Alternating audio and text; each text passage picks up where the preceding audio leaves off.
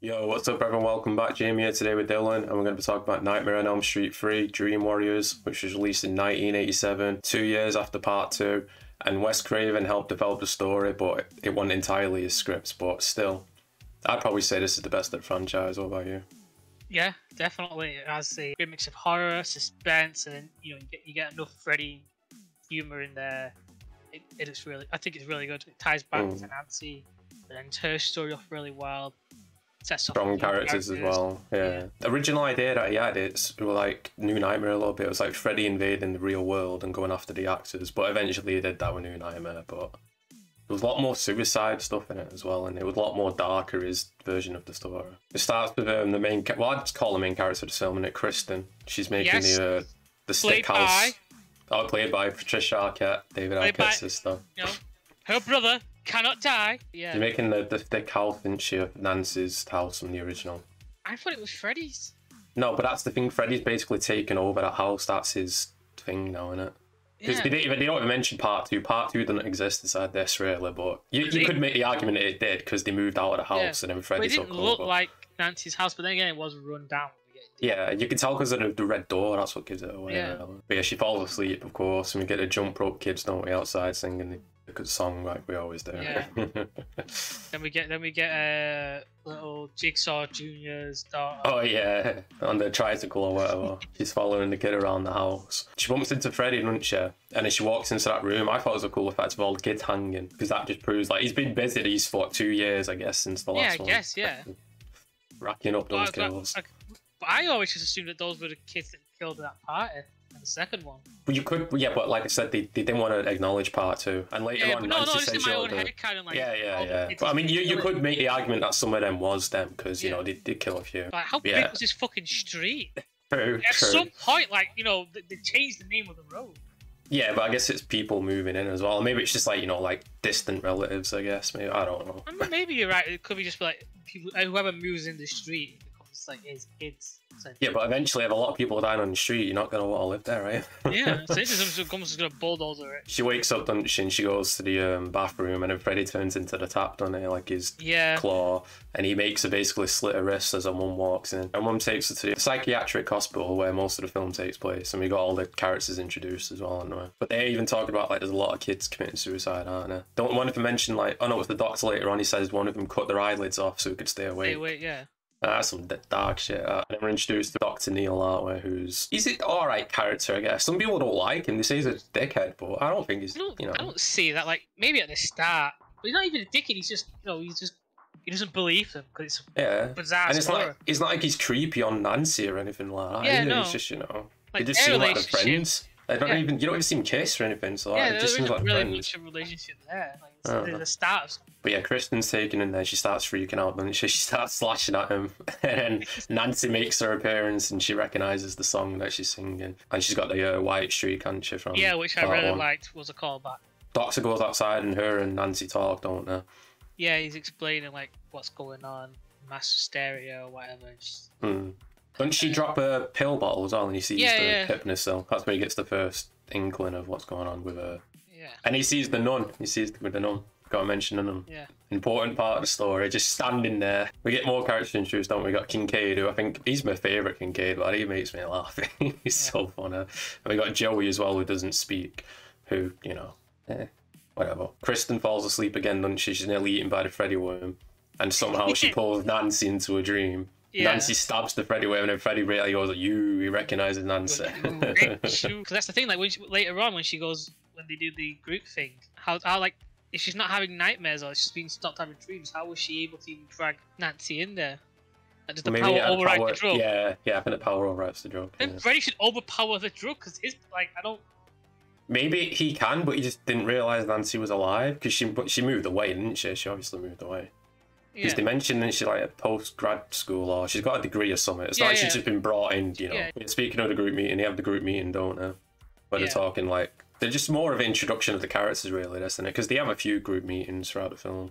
Yeah, you know, they're all talking about like their backstories and what they want to be, one way to be an actress. She's the only We one. got the junkie, the junkie as well, who used to be, yeah. What's his name? Philip. He makes the dolls, doesn't he, or whatever. Yeah. And then that's Mike it, really. Disney isn't had the best stuff as well. Oh yeah, yeah. Which is coming up because at night they take shifts, don't they? It's uh, Joey and oh yeah, the guy in the wheelchair as well. I forgot his name. Yeah. Them two take shifts, don't they, to stay awake to watch over each other. See, he sleepwalks, don't they? Yeah, and they know he sleepwalks. And Kincaid's like, "Oh, wake up!" He's like, "Oh, enjoy your walk, asshole," or whatever. Yeah, what Freddy does is like he has like his um like his muscles or his tendons sort of like acting as strings and it looks Yeah, and it's also good because he actually makes those puppet things as well. And Yeah. so it's, that's a good which is really good. Yeah, He's just Yeah, yeah. walking and he just goes just through a locked door, just fucking teleports through the locked door. yeah, this, this film has a weird love hate relationship with doors. yeah, which none of them mention later on, but you know, They assume they must have gone another way. maybe. But he ends up on the top floor and at the top floor of the Yeah. asylum, and they And notice him up really there. cool shot, and I think this was on like most of the DVD covers or something. Oh, Freddy in the I sky. remember, yeah, I remember seeing that a lot. That, that is a really cool kill. They're all trying to like get him to wake up, aren't they? But Yeah. they can't really do anything. Like the he wheelchair just- guy like smashes the window is Yeah, screaming. he's screaming. the mute guy Got the no. tray hunter. He's smashing on all the doors, Yeah. waking them all up, all and then he just shouting. slashes well, the flesh, I guess, the stringy Oh, yeah, flesh, and he Yeah, falls to his death.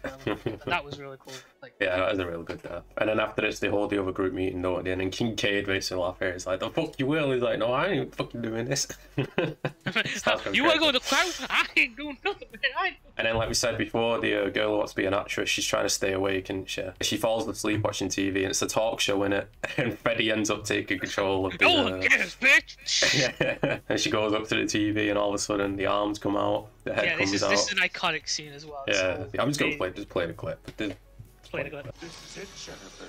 Your big break in TV. Welcome to prime time, bitch. Uh, he walks in onto the worker, and it's like, how do you explain that? Like she's literally hanging from the TV in the wall. And then from there, Nancy convinces him to hold like an unofficial meeting.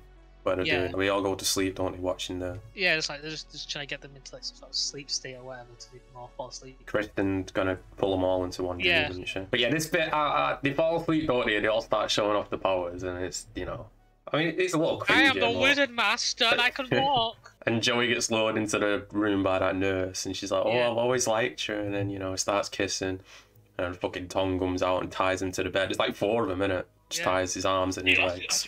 What happens? Did he, did he ch- get chased by Freddy or anything? Or did they all just get woken up? They all get woken up because they uh, work. They one of the women walks in, she? Yeah, the, and he just wakes them all up. Whatever, yeah. Yeah, but then Joey's in a coma, isn't he, from it? But he's really like in the dream world. He's tied up on the bed with the flames underneath Yeah. him. And I forgot that because later on they go, I'm like, "Are you still fucking there?" And I was like, "Oh yeah, he's in the coma." Nancy gets fired. Neil as well, yeah. They will get fired. Because he walks out onto with a box of his stuff, and conveniently the photo he's got is up with the two people who had died.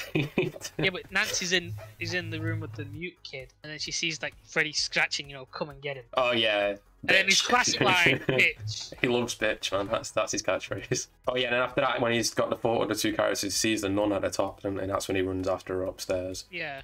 And then she gives the backstory of Freddy being the bastard son of a thousand maniacs, because years I- ago, a young woman got locked in there. Yeah, and I said this the other night. That that sounds like the intro to a fucking great wrestler.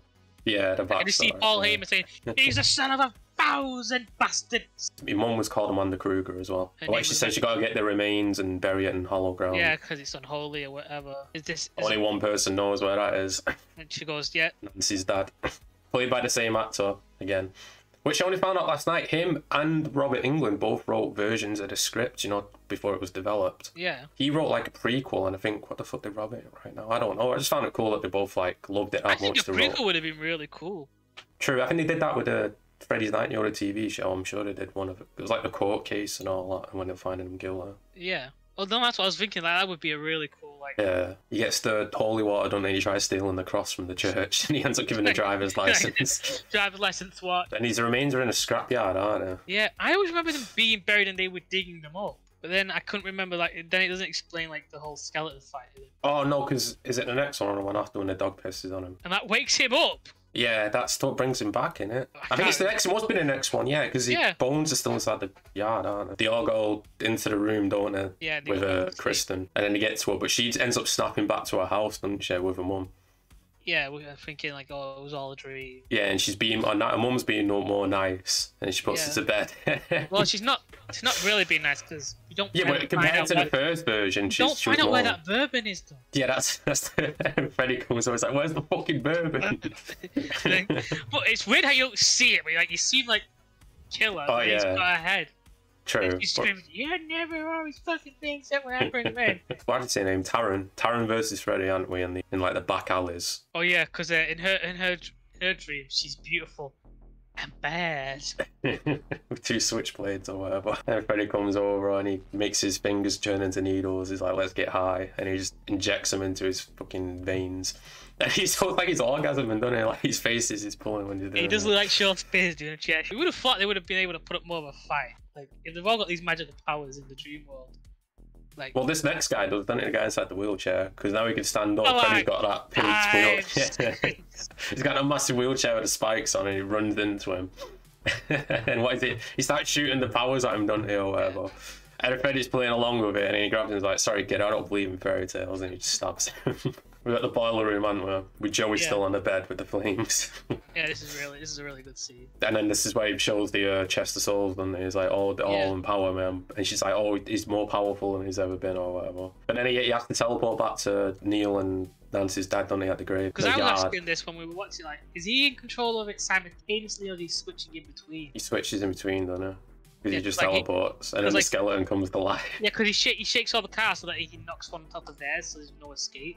Yeah, You sort of create like a little arena for them. you Like, get the he stop motion skeleton, which is which you know, I really like. I like it as well. I think like it, cool. yeah. If, if, if you were to do that now with a stop motion skeleton, you would be able to do better by adding CGI to it to help with the lighting. But you can still Oh, yeah. tell it's not True. Yeah. still tell it's not there, like it's not real, but it's something physical, so it's more real. I really like that. He ends up impaling Nancy's dad on is it the car? It's and something impales him, doesn't it? Yeah. And then he hits Neil with a uh, shovel and starts burying him. And he does a little victory dance. He goes like, "Hey!" And he he, teleports. he, he half traveled him.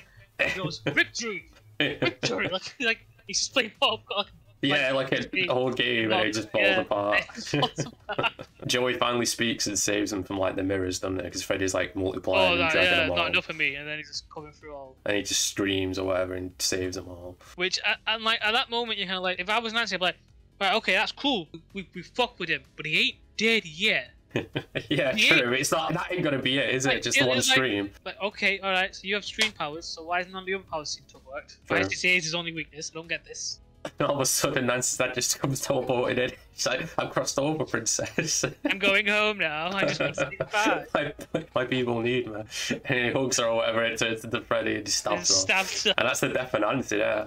That's the last time, Yeah. well, until New Nightmare, but it's not Nancy, that's the Yeah, but I thought she was in this more. Like, Well, she's in it enough. She, she's introduced pretty quick, isn't she? It's not Well, like she's really only in three movies. Yeah, three, but technically two, because New mentioned a lot, Nightmares. though. Is that's the? I think that's the thing she's mentioned a lot. Yeah, she is mentioned a lot. But yeah, the remains get buried, don't they? Because Neil wakes up and he buries the remains. Yeah, then he whatever. like puts the holy water. on. Yeah, and then Freddy starts like just fucking lights coming out of him all over. Oh, you get the cross on his head. I got the figure over there. I Yeah. I love that effect. And what? It's the day later. Oh, it's not the day later, but It's like it's a while later. It's Nancy's, Nancy's funeral. funeral. He sees the nun again. Yeah, we find Like, out the nun was real. Yeah, and she was really Freddy's mum. yeah, because she mentions that she's sister Mary something. Like that's a that's a sister name, Amanda Krueger or something. Amanda Krueger, because he finds the tombstone, doesn't he? Yeah. And then it ends with him asleep, and he's got the stick under the lights, the house stick. What? Yeah, and he's Kristen got um. Oh, the dream thing as well. Yeah, yeah. Which Yeah, was yeah. A, which, which she should have mentioned was a nice callback to a Johnny Depp's character called You know, because he was mentioning, you know, all, Oh yeah, he was. he was yeah. mentioning like all those weird dream culture things, True. which was a little, I think, was a little nod to that. Yeah, this one more linked to the first one than the second one, really, isn't it? way? Yeah. And it ends with the light coming on, and then that's how it ends. But originally, Wes Craven wanted this to be the end, but we all know horror sequels, if they make money, Yep. that is not the end. the overall rating, what you can give the Dream Warriors? this this is like an eight, man. This is this is top tier. This is this was the first Freddy film I think I ever saw, and it terrified me as a child. Yeah, I'm gonna give it an eight as well. I think it's the best of the franchise. Like the other ones have the Yeah. moments, but this one's just the most strongest, really. This one. Like, this one, this one uses Freddy's ability to play on people's fear a lot more. True, and it's that line of like he's kind of scary, but he's kind of funny as well. It's not completely Yeah. one-sided, which is cool. Make sure you like and subscribe. Next week we talk about Nightmare on Elm Street Four.